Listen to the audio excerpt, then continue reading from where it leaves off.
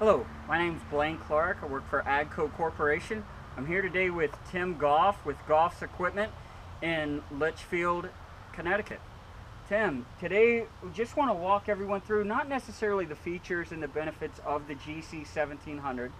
Many of our customers know about the benefits of this tractor. However, I would like to talk about the new DL95 loader.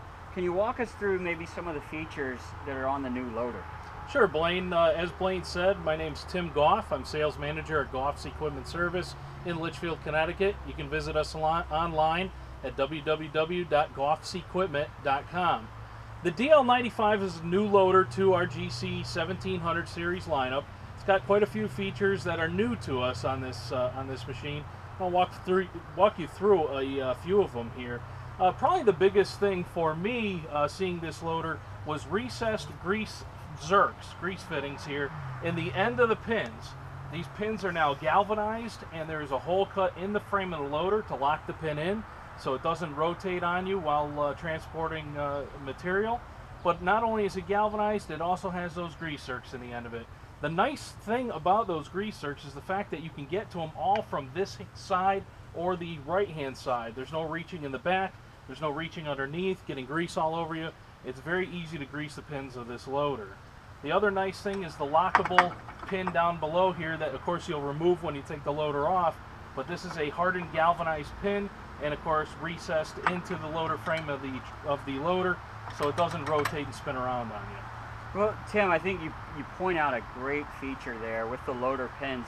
I think the nice thing about the recessed grease fittings obviously is they're not protruding out. So you're talking about knocking them off or anything like that. I think that's a nice nice feature. There's a lot that looks different, obviously, to the loader. Um, could you just point out, tell me about the parking stands. Obviously, it looks a little different than, than what we're used to. Tell me about the parking stand. Well, again, taking a look at this, the parking stand is actually built into the, the loader frame. So it looks kind of streamlined as part of the frame of the machine. It also has a larger footprint. So there is no sinking of the loader frame into soft ground um, it, you know, it actually stays on the ground a little bit easier uh, than the smaller loader parking stands that we've seen in the past. Yeah, and great point. Also, visually, the, the loader looks different. Tell me about the crossbar. It's, it's in a different location. Tell me about the uh, cross tube here. Well, if you kind of look down below here, this is the end cap of it, but the crossbar is down lower on our loader than a lot of the competition, and there's two reasons for that. One, it adds more stability to the bottom side of the loader, and more towards the bucket. And two, it's actually out of the way of the headlights. So if you're working at night, you don't have to worry about that crossbar blocking your view uh, during nighttime use. Great point. We had talked earlier. Tell me, the, the hoses are, I, can't even see the actual hydraulic hoses on, on the other side over there. Tell me about those. Uh, again, a, a part that really makes this loader stand apart from a lot of the competition is the fact that the loader hoses are now recessed into the frame of the tractor on the right hand side of the machine. So what that does is actually give you a better view from inside, sitting on the operator's seat.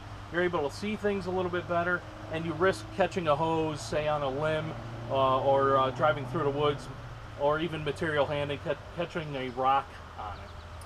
Yeah, great point, Tim. Also, right next to me, this is easy to point out, visually, these cylinders look a lot larger than, than what we're used to in the previous loader. Can you tell me about uh, these cylinders? Why why is bigger better? Well, that's really what makes this loader stand apart from really most of the competition, and and I say that because the loader cylinders on this, uh, both the lift and the dump, are two and a half inch diameter cylinders, uh, and that of course is improving lift capacity. Previous lift capacity on this tractor was 678 pounds we're now seeing 870 pounds worth of lift capacity uh, with the DL95, which is just tremendous lift capacity for a tractor of this stature. Yeah, it's a great point. Also, right next to me, Tim, the the bucket, um, the, the cutting edge on the bucket is a lot different. Talk to me a little bit about the, the cutting edge. What makes this uh, not only different but more durable? Why this one better than well, the new cutting edges on the on these buckets are actually a hardened edge. It's the same type of material that they're using in mining equipment. Uh, and what that does is it actually keeps it from wearing longer uh, over time so you're not welding on new edges like we've seen in the past. Uh, these edges, it'd be a, you'd have a hard time wearing it down in a, in a short period of time. Uh, and again, it's all due to the amount uh, or, or the material that they're using uh, to make these loader cutting edges. Tim, I think you've hit on a lot of themes about this loader. It has a lot of features, obviously, but you talked about visibility, um, the hoses being in the, the loader beam. Um, you talked about durability of this particular loader, and not only that, the strength and some of the features that you pointed out here. Obviously, a, great loader matching up with a great tractor.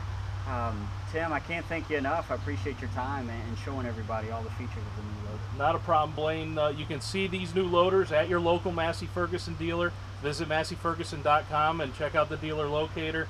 And uh, be sure to stop into your dealer and, and test drive one and see what you think of it today. Thank you, Tim.